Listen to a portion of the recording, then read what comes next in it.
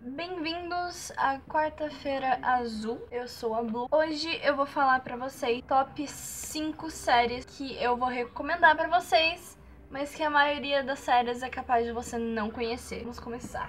Em quinto lugar, lembrando que não está em ordem de minhas preferidas, e sim em ordem, uma ordem que eu quis colocar, foda-se. Nós temos a Zumbi.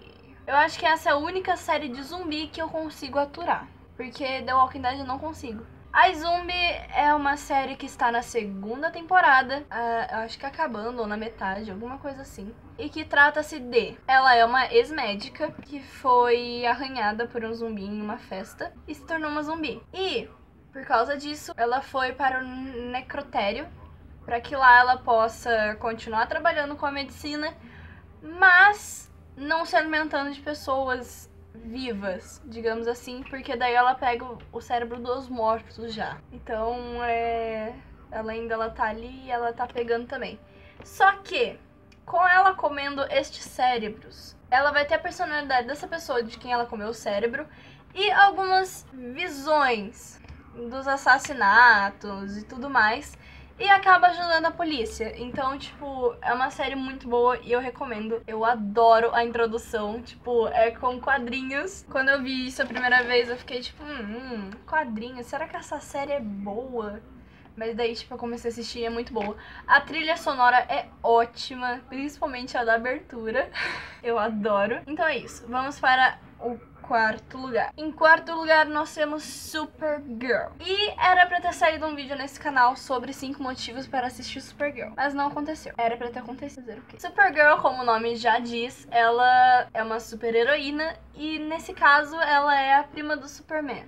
Quando estava tendo aquele problema lá em Krypton, ela e o primo dela foi mandado pra Terra. Só que a cápsula, vamos dizer assim, não sei, que ela estava, se perdeu e ela só chegou anos depois na Terra e o primo dela já estava crescido, já estava salvando o mundo.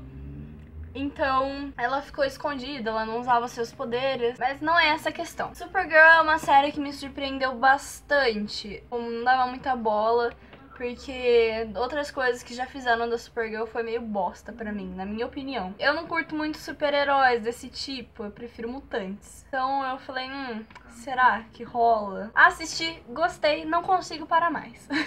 Simplesmente. Então eu recomendo essa série porque, por mais que pareça uma série muito besta, é muito boa. Em terceiro lugar, nós temos uma série um tanto polêmica, se podemos, se podemos dizer assim. Que no caso é Lucifer. Se for a menina da minha sala que estiver pensando ou assistindo Lucifer, ela vai achar engraçado, mas não tem nada de engraçado.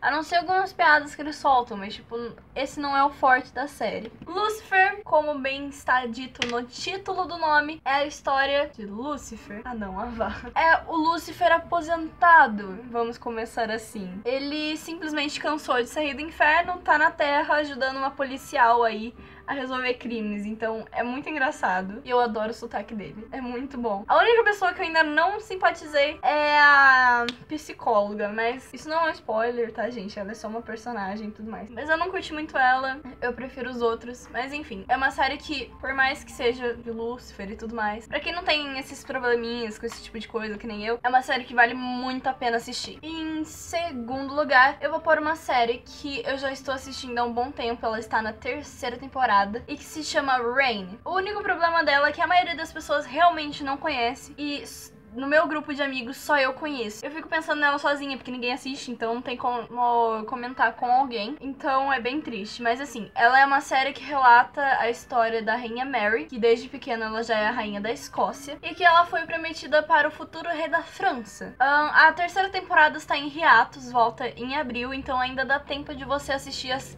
as duas primeiras temporadas que vale muito a pena. Você se prende na história. Tem um triângulo amoroso muito foda, que no caso vai virando um quarteto amoroso, se eu posso dizer assim, não sei.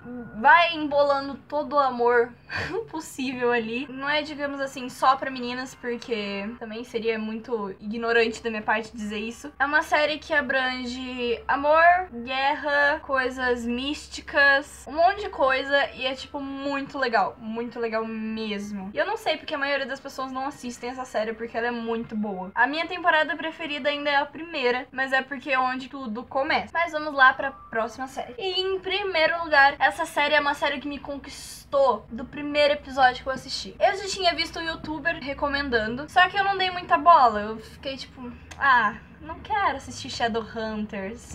Eu não lembro se eu falei o nome, mas enfim, é Shadowhunters. Só que daí minha prima, ela me ligou, acho que no meu aniversário, e a gente tava conversando. E ela comentou dessa série. Ela falou, cara, você tem que assistir, por favor, assiste, não sei o que, sei lá. Eu, tá bom, falei, tá bom, vou assistir, né? Tava de férias ainda, né? Podia dormir qualquer horário. Fui lá, baixei o primeiro episódio, e daí junto tinha baixado Lucifer, porque eu queria experimentar essas duas séries. Assisti o primeiro episódio de Shadowhunters, amei. Queria assistir o próximo. Nem esperei pra baixar, simplesmente fui lá e fui assistindo enquanto enquanto carregava, mas enfim. Essa série é baseada no filme e nos livros Instrumentos Mortais. E daí envolve aquela coisa de runas, demônios, anjos. É muito foda. Simplesmente é isso, muito foda. Pra quem gosta de uh, Supernatural, The Vampire's Diary, Constantine, vai adorar essa série. Eu juro pra vocês. Ela tá só na primeira temporada, então ainda dá tempo de acompanhar. Eu assisti o último episódio, que foi o sétimo, e terça-feira agora saiu outro. Então tá em oito episódios. Ainda ainda tempo, eu não sei quanto essa temporada vai durar,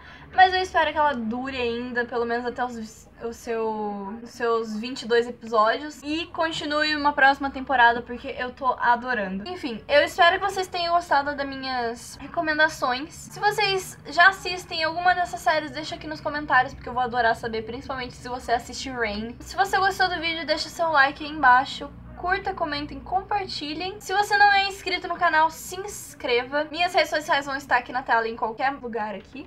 Mas também vão estar aí na descrição e no final do vídeo. Até o próximo vídeo. Eu espero que seja até sábado. Então, falou, tchau!